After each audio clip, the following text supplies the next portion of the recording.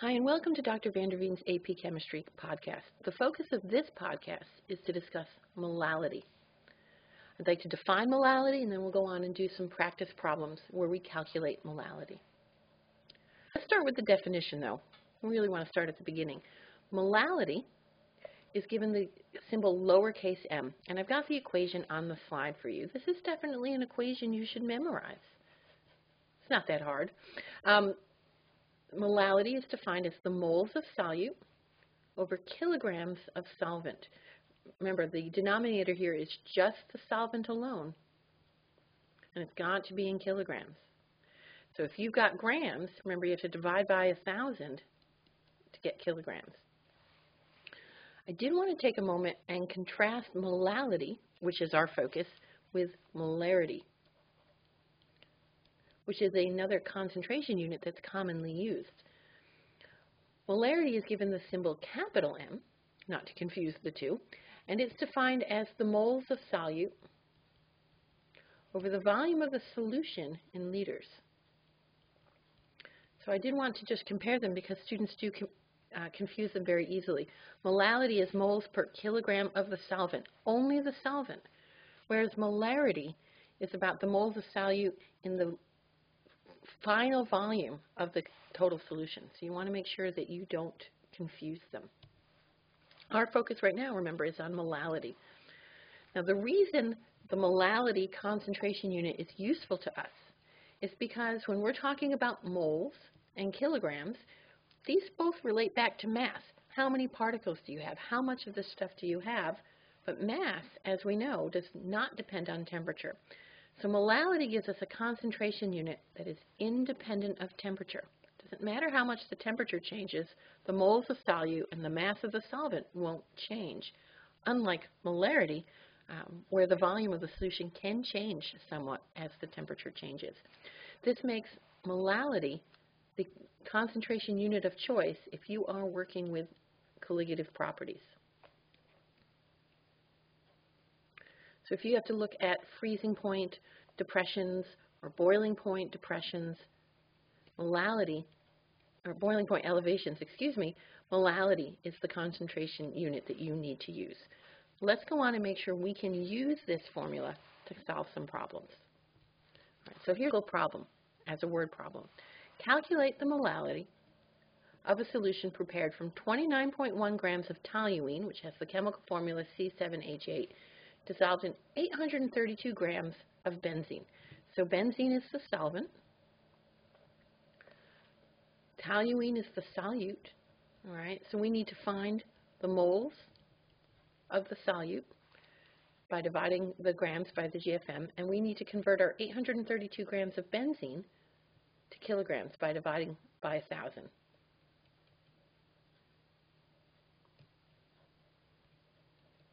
All right, so let's first do the moles of toluene calculation, and then we'll plug this into the molarity, the molality formula. See, it's so easy to say the wrong thing. All right, now, if you look up on your periodic table, seven carbons plus the mass of eight hydrogens, it's going to give you a molar mass of about 92 grams per mole for toluene. So we'll go ahead and we'll calculate the moles of toluene. We know that moles equals the grams divided by the GFM. And so we've got 29.1 grams of toluene, 92 grams per mole for the toluene, gives us 0.316 moles of toluene. Now we're ready to take this and move into the molality formula and calculate the molality of this solution. All right, since molality equals moles of solute, well, we just found that, divided by the kilograms of solvent, and we had done that before as well. All right, that's a very easy conversion. All right, 0.316 moles of solute. All right, we take the 832 grams, divide it by 1,000 grams per kilogram. All right, we get 0.832 kilograms, gives us a molality of 0.380 molal is what it's called. 0.380 molal. Now, when you do this on your calculator, you might get a slightly different answer. Remember, we're only allowed three sig figs. So we do have to correct for that when we report this. And then the unit would be little m.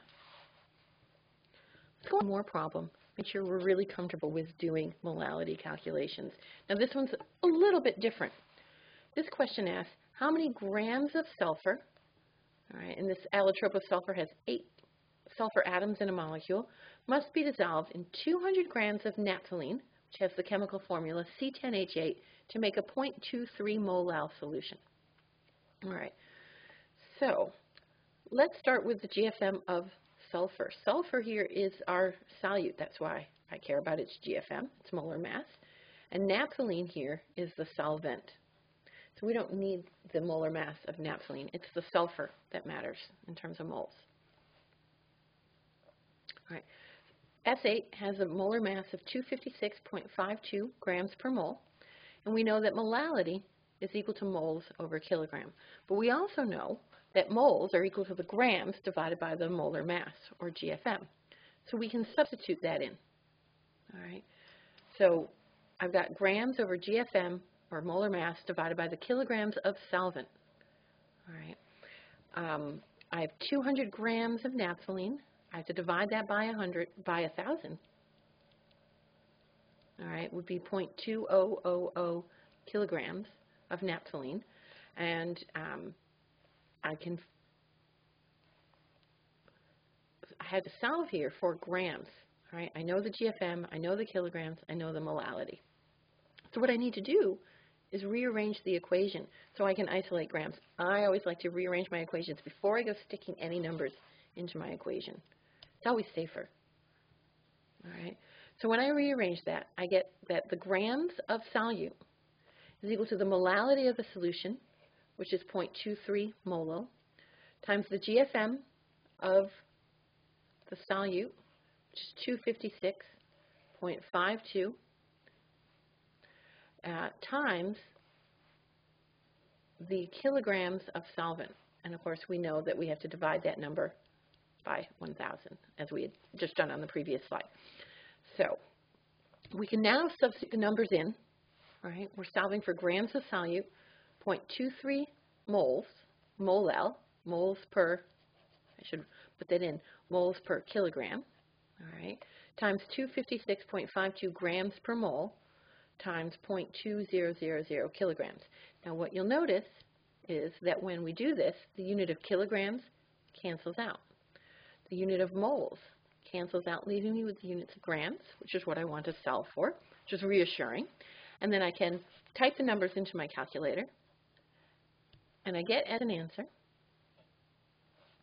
12 grams. Now you may be looking at your calculator when you did this out saying, I didn't quite get that. Remember, since the solution is only known to 2 sig figs for its molality, I can only report the answer to 2 sig figs. And that's why 12 grams is the correct answer. Great, we'll stop.